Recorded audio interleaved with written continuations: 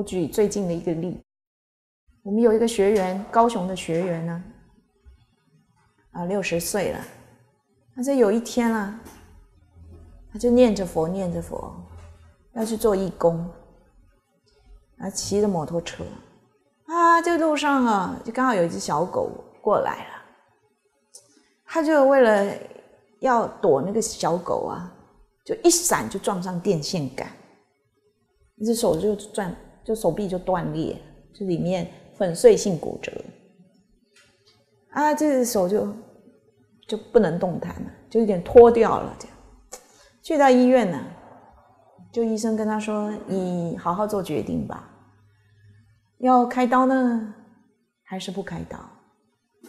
他就心里想着：“我要借着佛菩萨的慈悲加倍力，因为我没有杀生的念头，我为了闪躲那条狗去撞电线杆的。”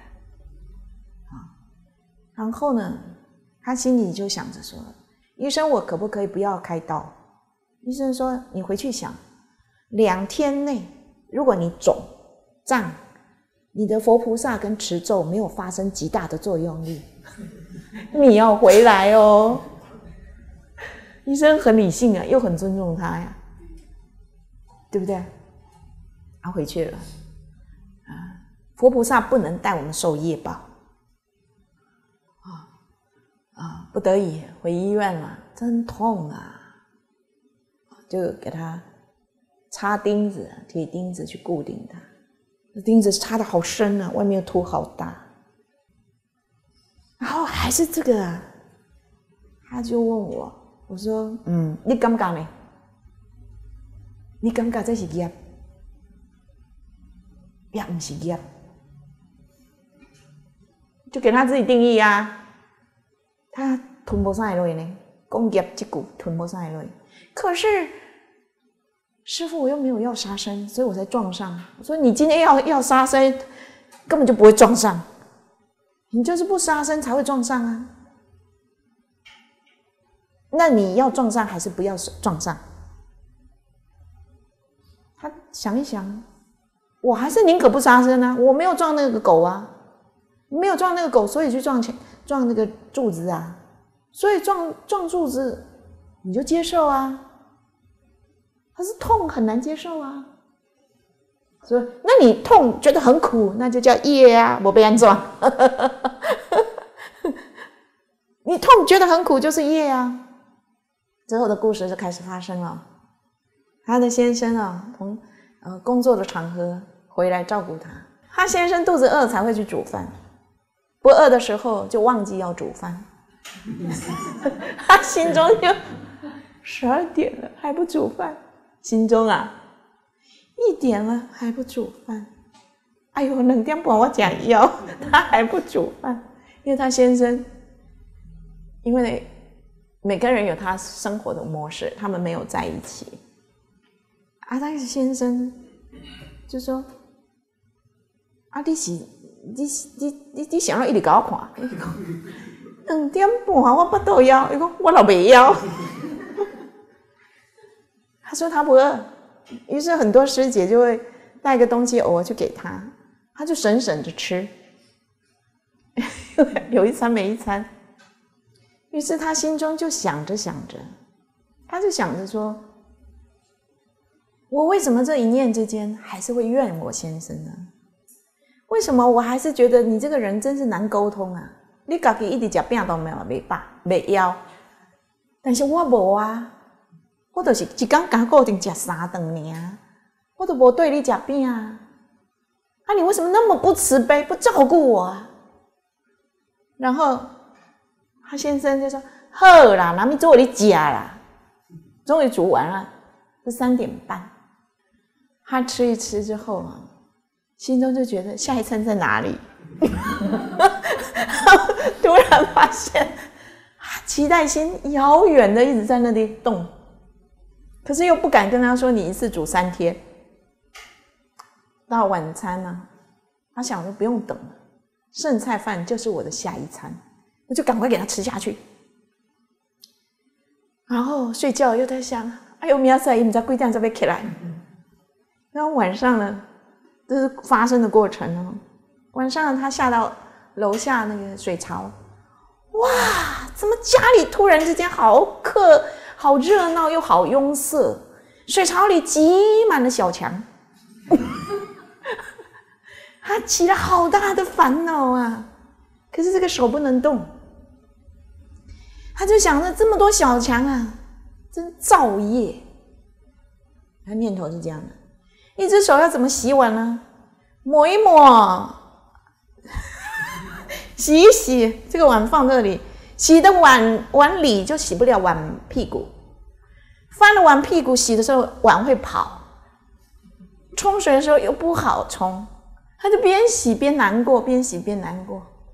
洗完上去，他看他先生在看电视，伊讲啊，你嘛卡清气想咧，迄水槽内底拢是蟑螂。伊讲啊，你卖甲拍伊也未死呀？他没有说错，他先生讲你卖甲拍你也未伊也未死。伊讲啊，碗伫遐我看了足艰苦。伊讲够有碗，你紧张啥？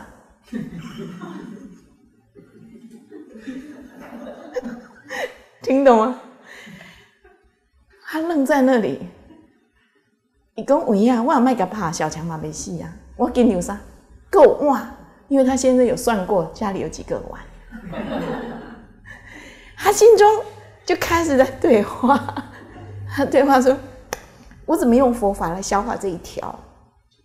我到底要放下小强？”还是放下我的清洁，还是要放下我先生，还是要放下我的知见？同学，你说他应该放下哪一条？知见，通通放下吧。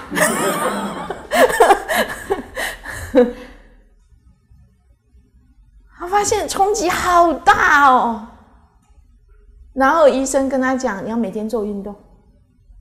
他跟医生说怎么做啊？那明明那个一根钢骨一样，四根钢条、铁条放在这里，我怎么动啊？医生说你不动，你不动你就废了，你一定要动，不能让你的肉跟神经啊攀上那个那个钢条，这样你都不能拔。他每次动的时候就眼泪一直掉，真的很痛。就他先生就去买了一个会那个那么电疗的那种东西，就帮他电。然后他为了很痛，他心里想说：“卡碎了嘞，那个眼睛的嘴巴就会起那种很难过。”后来他就拿一部《地藏经》，同学你听哈，他就开始《地藏菩萨本藏本愿经》边念他边诵《地藏经》，很痛，然后继续送，然后一直送，让自己忘忘记这个痛，然后边送。他地藏经送完，他先生电疗就算那个时间，他电到哪里啊？中卷，哦，就天哎！他地藏菩萨请地藏菩萨来转移他的痛。这个时候电完了，血水就出来嘛，血水出来，这个肉就松开，不会攀在这个这个钢钢条上面。这医生说要动，然后他真的很痛。那在痛的时候，他突然就发现了苦集灭道。大概人人讲苦，你讲，哎呦，你转一念都未苦啊！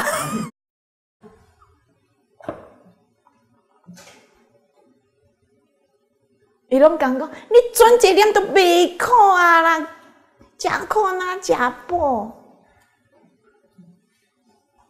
当他自己这么苦、这么苦的时候。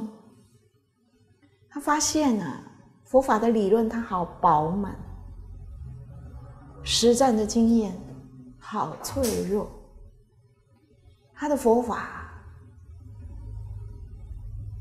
可以拿来用某一种，用某一种在堂上的语言，可是实质上他却没有这么痛的体悟过。晚上他睡不着，实在太痛了，就听到隔壁的小孩在哭。他听到那小孩哭的时候，他原来以为他发菩提心，因为他发愿要上求下化，要度化众生，帮助众生。他发愿要怎样怎样怎样。当那天晚上那隔壁的小孩一直哭，一直哭的时候，他去读到那个小孩子的心。他说：“我眼泪一直掉下来，我眼泪一直掉下来，知道那小孩子他那个哭声应该是他哪里痛，可是妈妈听不懂，他妈妈没理他。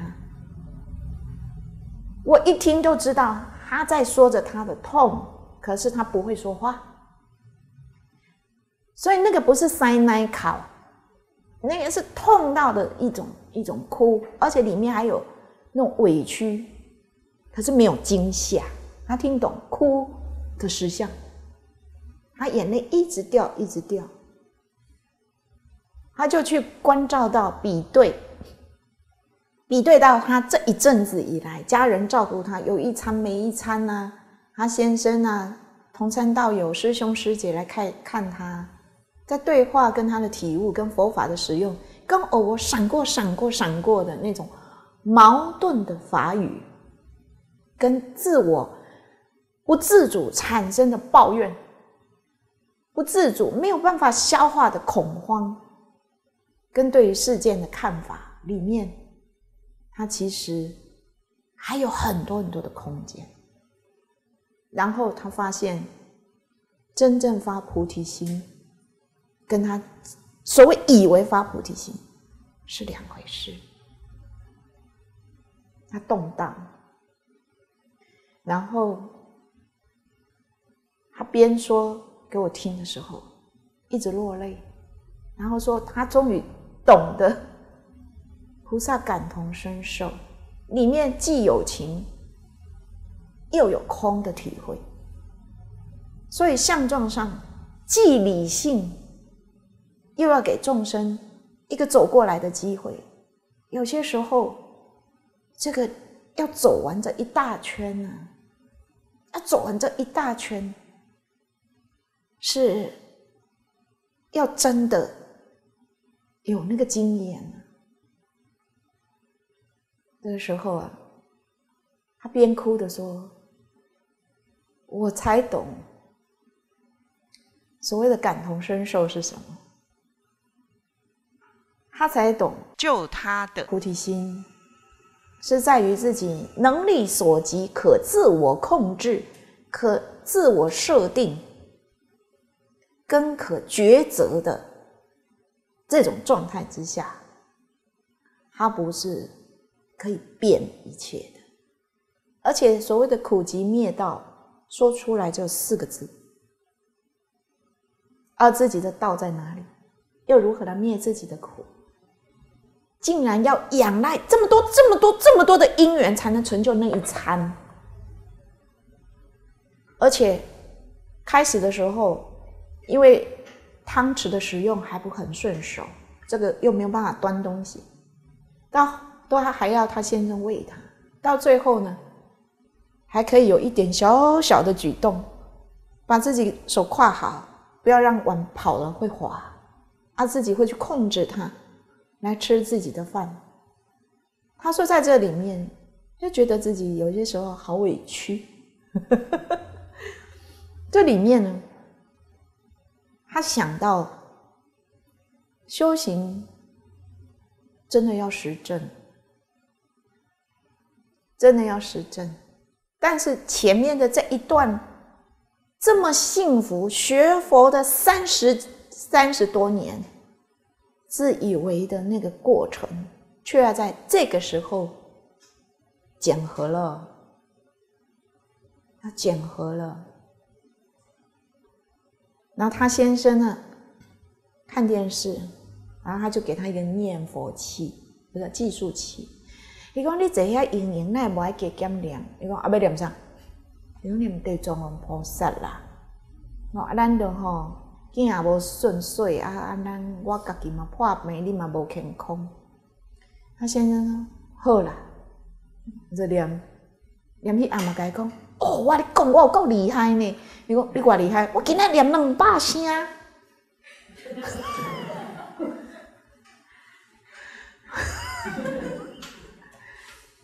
我念两百声地藏王菩萨呢。伊就甲伊讲。啊，师兄赞叹赞叹哦，正经诶，哦，真的两百声不容易耶。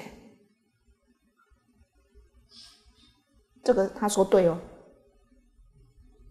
第二天他先生就说：“哎，我给他三五。”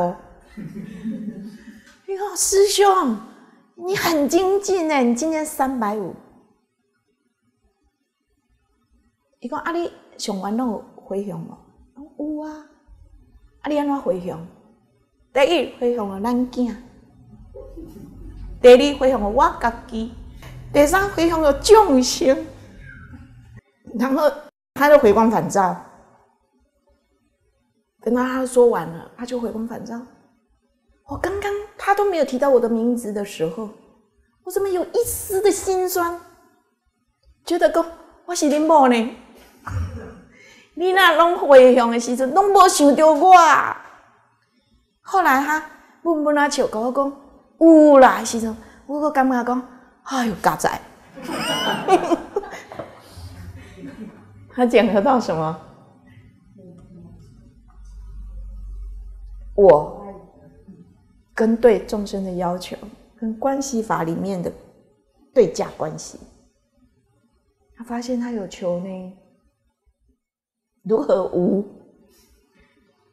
心经一刚上过了拜，对不对？如何无？他说：“师傅啊，我真的好惭愧。”然后我就慢慢的听他说，慢慢听他说，他就一样一样去检核。后来他先生被他渡了，真的被他渡了。相处快三个月，本来是各分两地。那先生呢？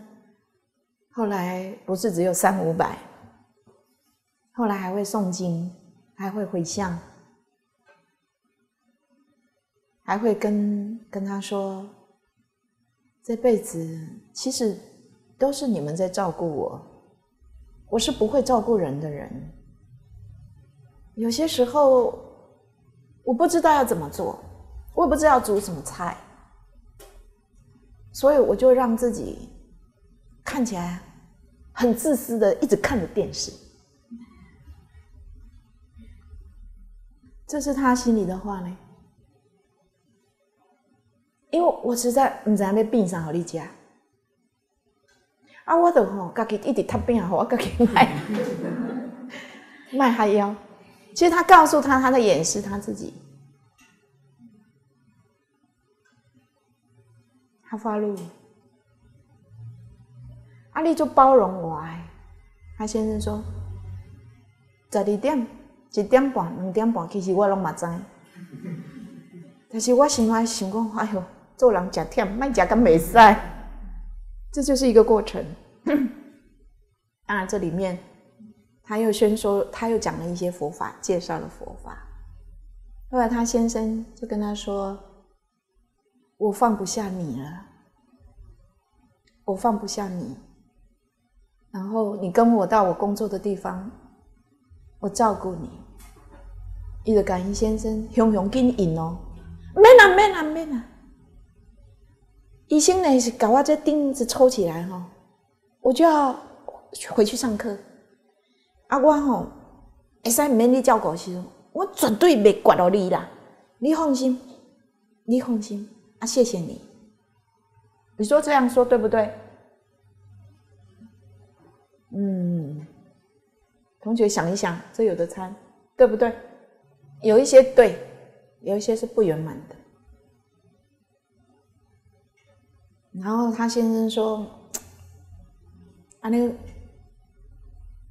我感觉袂晓讲诶，你刚正经有法度，你完全能自理了吗？然后他心中想说，心中有一个声音：哦，我来主要是跟你讲，我怎么爱？这个念头又让他回光返照。同学听起来他就好像很自在。其实他有一点要赶快弃离这样的一个主主这样的关系跟这样的依赖，他不是救着他先生的法身慧命，他只是在想着他自己的自由。而他先生这三十年来，就是他最大的头痛，就是没把他渡起来。他来问我说：“师傅，我那个时候我觉得我这样想好像也不对，可是我要回去上课，这样也是精进，也是对。那到底哪一样才是对？”我问他：“你哪一样才是对？你先生跟你的关系，你绝对是要渡他的。”你就不要爱上他就可以了。他说：“我有发现，我现在很依赖他，可是爱这个东西哦，嘿，我要重新思考，我要重新思考。那你要如何度他？你用现业相来度他，因为你从来没有办法靠近他，你现业相来度他，这里面也让你反观觉照到自己的修行。”对不对？所以你这个没有撞上小狗，撞上电线杆，现在在我的眼里，它是你修行的法门的契机呢。他说丢哈，哎丢哈！如果你没有用业相，你没有用这个来反观觉照修行来度你先生，你认为他会有第一生的地藏王菩萨吗？你认为他会跟你讨论心经吗？你认为他会说出他内心那个迂回的假面貌吗？好，对，对不对？所以不迎不拒，不是说哦好，跟你来你工作场合弄扣你假钱，嘛不是讲跟你拒绝，啊没你啦，我那自己一走一条，那就需要你。因为现在是不一样的，因为你是看到他的法身慧命，所以不迎不拒，不是因为看到你的依赖或不依赖而来决定你的行为，这样听得懂吗？所以有些时候我们会因为慈悲，所以会有来来去去，我们会因为要度化这个众生，所以知道什么时候。该近靠近，有的时候应该远离，但不是因为利害关系或自我的这种解释，这样听懂吗？有的人说我家里那口子怎么样又怎么样，他永远是那个样子的时候，你就有问题了，对不对？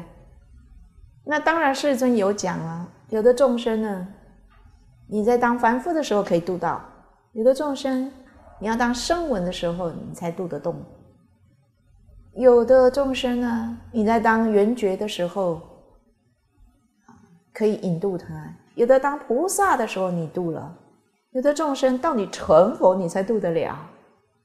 他是不是会有他的因缘结构的因缘法？那这个远近亲疏。其实也是实相啊，但是很基准的一点是，只要跟你在同一个时间空间出现的众生，你就有某一种因缘。这些因缘呢，有的是真的所谓距离没有到一码、两码、三码那么远的距离，是家眷呐；有的呢，可能是同才，有的可能是同时代。同种人类，这还是叫同一种类种族。有的是非同种同时空，那可能就是你现在所处的时间空间里面的恶鬼道啊、畜生道啊等等的这些，所以它有远近亲疏。但你如果你的清净心、你的愿力如普贤行愿品一样，你的回向心变一切。那么在什么时候度到呢？似乎也不需要去思考它，但你每一个缘起的时候，你如何真的这样去做？你如何真的掌握，而用最清净的心供养这个佛法，而真的饶益众生？这个是修行里面一个确切的点。那自我上面呢？十二因缘前面有讲过嘛？啊，花好久的时间讲十二因缘。自己对于一重、二重、三重因果的读法，每一个现况现起的这个当下，用苦集灭道也行，用十二因缘法也行，用观五蕴皆空也行，这都是法门呐。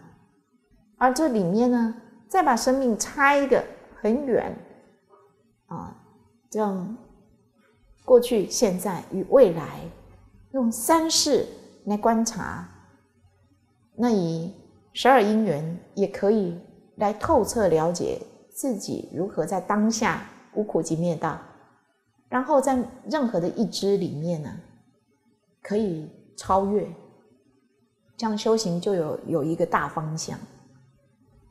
人会允许自己无限的埋怨别人，会允许自己在自己认为的知识跟想法里面呢，去对抗别人的想法。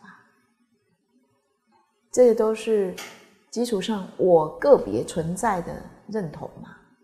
你说否认掉这个我，而都没有想法，也办不到。那一定有他的想法。只是这个想法里面可不可以没有抗争性，而是就实相去看，而能不能在这里面不产生嗯内内部的这些烦恼相跟五蕴，那修行就基础上把握了它的清净度啦，对不对？至于你要做什么，圆满了什么，你可以，如果你是修学菩萨道。你可以在任何一个发生的时候，就把这个德目、不失持戒、忍辱、精进、禅定、智慧这个德目扫描一下，就知道我现在呢，既做布施，也持戒，也忍辱，也精进，也禅定，能够这样去圆满它，这个就叫般若智慧。因为心经最主要要凸显的，就是这个根本的慧，就是般若智慧。如果这个点没有把握，你修行就没有碰到第一个世尊所说的根本的那个重点。这样很了解，好，所以介绍了天台宗所立的四教。那我们再讲一下四弘誓愿跟苦集灭道的关系。我们不是常常就众生无边誓愿度，众生在哪里？在苦。那众生呢？心里的众生，外界的众生，自己里面的众生，当然要自信众生是愿度嘛。这个了解。那外界的众生呢？无边誓愿度，就是看到众生的苦。众生相现出来的，都有他的一些苦的相状，所以四弘誓愿看到苦替，这就是要教导自己，教导自己啊。从众生的反应，众生其实就是示现给我们看的。那烦恼无尽誓愿断，自己如果有烦恼无尽，就表示自己在集体嘛。啊这是烦恼为缘嘛？无名为根本，烦恼为缘呢，就牵你的业力，而成就了你一世一世的轮回。所以烦恼无尽誓愿断，讲的就是集体。我在收集哦，我在收集我轮回的筹码。所以我看到众生的烦恼的时候，他也在集。只要有烦恼像现前，他就是无名，他可能依着习气去造作。这走下去以后，绵绵无绝期的，还是会有它的果现前。所以四弘誓愿的烦恼无尽誓愿断，就可以看到极替。法门无量誓愿学，讲的就是道替。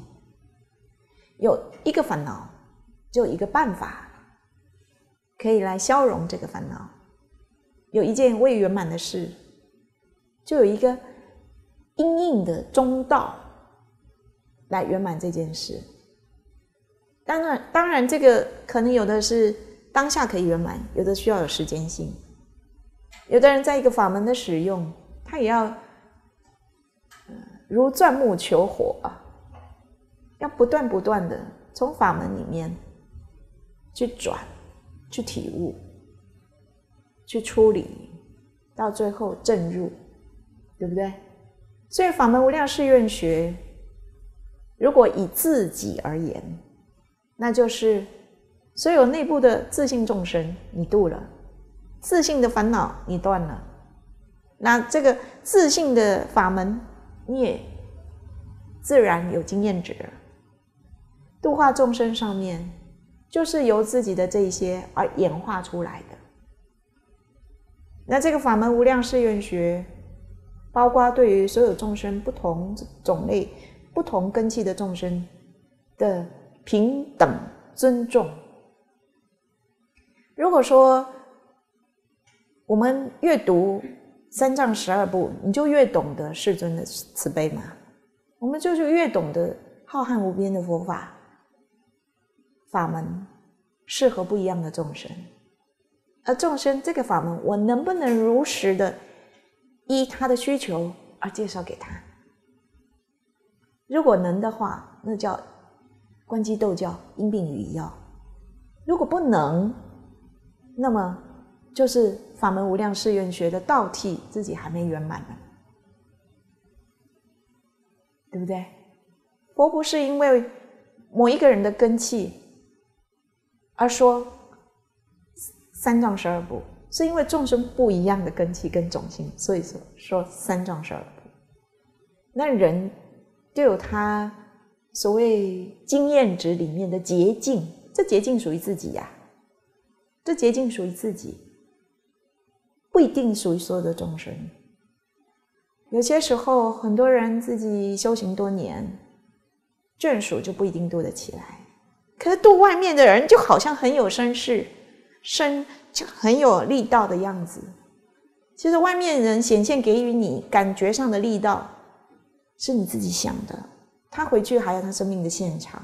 以世尊的角度呢，这个法门无量誓愿学，在菩萨道的时候。是由自己修行的经验值而提供给众生，而众生听到这样的法语的时候，他是不是文思修？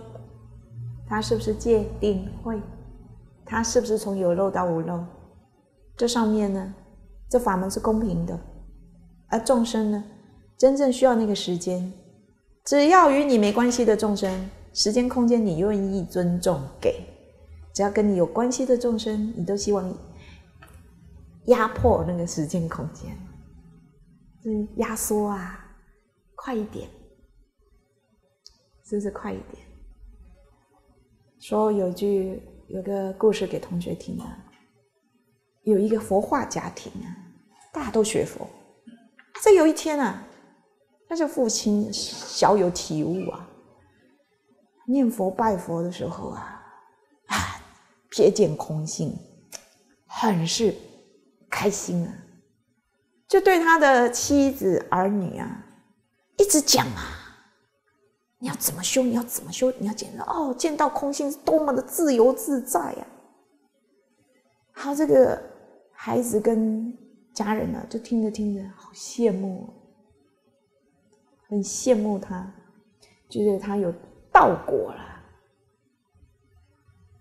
修行有有所体会，啊，他每天都津津乐道的在这个上面。他有个儿子要准备出家，他心里在想着：我父亲乐此不疲的一直告诉我们这些话，可是他一直在说的时候，我从他的眼神跟他的口气里面，我发现他好窄。我们发现他很窄的，缩绑在他自己的体会跟要求我们达到的境界。这上面听了听了之后，他都没敢作答。有一天，他就跟他丈跟他父亲说：“爸，你免个讲，我背给你听，我背给你听，因为你。”少说说过一百零一遍，可是我不会开悟，因为你说的是你的话，不是我的话。你能不能说说我的话？你说说我的法门，我的话。你爸爸呢？你无叫我尼做搞变？你跟爸爸讲，你无开我，听懂吗？你的空是什么？后来他就去出家了。他知道他的父亲落在某个点，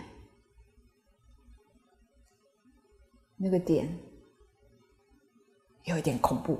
好，那接下来我们是了解到修行人，不管你有任何的问题。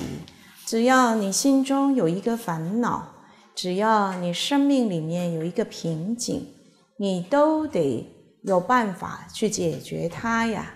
这个就是无量四谛啊！你生命有一个苦，你就有一个道，就有一个办法来灭你这个苦。而执行它的时候，却没有所谓标准模式那如果你在一有觉受的开始，第一念到你完成了处理所有该有的思考、正念、行为圆满之后，通通放下啦，新的一个缘起，所有一切里面自由自在的，在这里面啊，也就是无作四体了。所以修行其实我们凡夫啊，心中很多杂杂碎碎。不外乎就是归零。简单的说，就是把你心中所有的那些纷纷扰的东西归零吧，归零，然后化解了，是不是？然后在这个归零的这个点呢，这个就是清净的觉性喽，一尘不染的再出发。而他再出发的时候。就不是零与一的数字，它就是在这里面，不是造作的心，而是一直是在本觉的角度去圆满生命里面所有的一切。所以，同学，你在做哪个动作啊？在加分吗？在增减呢？增减想法，加加减减。其实，那个是呃头上安头了。修行的开始啊，通通放下，不是归零吗？就那么简单而已啊。所以，如果你心中有什么什么的什么，是让自己很复杂，每天在这里面呢，丢来丢去。抛绣球，希望有人跟你接着。那这些呢？如果你知道大原则，这些都是可以啊一并一并去消融的啦。啊，那在无作四谛，当然是啊天台宗啊智者大师特别依《上曼经》跟《涅盘经》之说，对应于原教所说的啊。修行的时候，啊，知道迷悟之当体及真实的实相。其实没有悟后的人，怎么知道什么叫实相？你没有悟，怎么知道什么叫实相？每次都马是会指着自己说：“这是我真实的，这是我的真心。”那你这个时候真，其他的都好假。既有真要标列、标举出来，就有好多的假。所以，什么叫实相？所以，这个没有真的去懂，这一切不可说不可说嘛。所以，因缘法缘起缘灭，这一切没有什么是非，所以没有什么矛盾跟不矛盾的东西。那我们修行啊，在起修的时候，也就是你看得到，你有好多好多东西呀，你要归零的时候啊，你要知道，那就是用我们清净原来的清净的觉性，这样在做整理。所以性权在修，修的时候啊，其实你本来就是清净的嘛。那如果说我们看到我们的呃呃，知道自己有清净的觉性，它变一切处。所以你在修的时候，也依凭的这原始的清净、变一切的觉性在修，所以修全在性，对不对？这个慢慢学习，你会发现，其实你每天在做很多加加减减的动作，为什么不归归零呢？为什么？不让你回到最原始的清净的点呢？那你归零之后，这个能力就可以大大的发展了，对不对？这样，那做什么事？如果你心中有一个特别的期待呀、想法呀、办法，那个都是适应于那个因缘法而已呀。而那个因缘法也是你不可掌控的。如果当你用清净心把这所有一切做完的时候，那因缘因缘法不会不会跟你说你好棒啊，不会啦，是人给自己一个自己心里的分数，我好棒啊，就我就有得了，对不对？那像这些呢，就会成为好多好多的加分，最后好重。自己把自己的位置垫垫垫垫垫好高，准摔死，这是所得嘛？对不对？所以这些呢，都是希望同学能够了解啊，迷跟悟的对立，其实都是你自己没有用那个归零清净的点去看。如果你看所有的众生，他要愚痴，你也是没没他辙啦。其实是他自讨苦吃，但是你可不要引起别人愚痴，这倒是真话，对不对？你不要创造太多的是非，让人家在这里动荡，不要当大魔王。但在这所有里面呢，啊，这对立的矛盾就在有矛盾的人的身上、心上。那如果我们都懂用清净心。这样去看世界，做一切的，你本着的东西就没有摇摆嘛？他那个也是无相，智慧哪有相啊？那今天我们当然要进入到啊，这个下一句叫“无智亦无德”。这“无智亦无德”加上“以无所得故”，两个是一个不同层次啊。“无智亦无德”在修行里面，其实。问问开始学佛的人，他一定有德啦，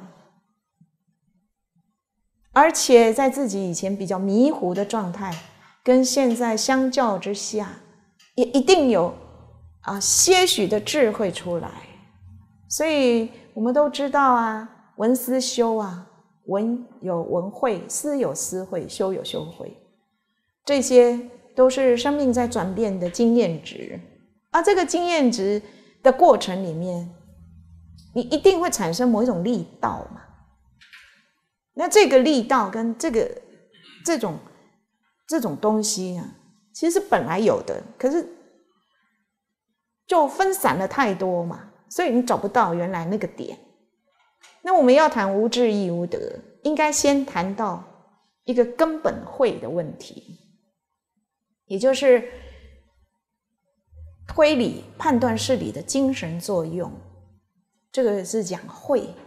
当然，我们现在讲的是一个归零的能力，也就是所有一切呢，你站在那个最亲近的原点，那所有的一切都没有阻碍。那看所有的一切，你不执着，你以清净来看，你可以可以判断这个事情跟这个道理啊。事跟理呀，它是一体的，那我们常常就会掉到事里面，凡夫就在事里面嘛，事里面就一直看着这个事，然后用自己的想法在那边把玩这件事，于是这 这件事就变成了麻烦事，想法很多啊。那二乘人呢，就看到这个理，这个空嘛，就这个事看不见。然后就在这个理，这个理呢，其实是把自己框起来，框起来看到它的一般性的总说的道理叫空啊，这个呢就是归零而没办法作用，这样听懂了吗？对不对？他知道，哎呀，这一切虚假、虚幻不实，没办法作用，哎，归零了。哎不能发发展出它的作用，所以在讲这个根本会，是在讲它能够发展作用。那回到这个清净里面，那由这个清净这个作用啊，就是觉照力啊、觉力呀，啊，这个所有的一切的能力，在发展缘起的时候。就能就于所有一切的事上面产生有为的志向，也就产生它可以运作的办法，跟它能运作的能力跟执行力，这样叫智。所以是得根本慧，有的人用根本智啊，啊都一样，由这个再发展出智慧。那这个智说到底，修行里面有没有智？有没有你有为的志向的这个部分可以使用，真正能够发展出来的作用有没有？学佛一定有的，要不然你为什么要继续学？他就没有那个原动力嘛。所以在经论里面讲很多智啊，有一智、二智。四至五至八至九至十至四十四至跟七十七至，大智度论用一个大智，而且度到彼岸，这大智度论，这是论。那他是注解什么大般若经？那讲到这般若，又讲到这么多的内容。所以，我们就从智里面的了解，我们现况里呀，以修行的自身，每个人的自身而言，他开始从这个杂染迷糊的这一方，而了解到这个是错，另外一个正确的啊正确的规范，应该是这个的时候，就有所得啊。啊，这内容呢？就是智慧呀，对不对？那所以以修行自己，修行人自己，他一定会有所得嘛？他一定会有所得，这是过程，它不是终究的答案，但是会发生。如果这一点都没发生，为什么会有佛经里面开始的啊？一时佛在哪里？啊，这么多的众。然后到最后信受奉行，为什么会信受奉行？这里面一定有它发生的过程。那每一场每一场的法会都有它发生的当机众，都有它相应的佛法，都有它欢喜信受而而退。这里面就谈到一个德。所以这个德啊，就是一切法造作成就而不失，称为德。也就是你必须，你必须用你的这个意志力，这个就是每个人他本身都有的自我的抉择力。你用自我的抉择力转自己的染，因为你已经在染里面。如果你立立根气，知道这是染，所以我放下，我就可以归零。但一般是办不到的，所以我必须借由道法，这个前面苦集灭道的道法，道法这是有为的。虽然八正道啊，苦集灭道开始，呃，最后讲它是正入界定会啊，这个三无漏学，但是基础上呢，它开始还是叫有为的。那在这个有为的，用自我的抉择力去转自己的，转这个过程，在有情的自己本身这件事是有为法。那这个有为法，就会有德，就是你转换成功嘛。同学，你有没有转换成功的经验？这个经验很重要啊！你有没有得？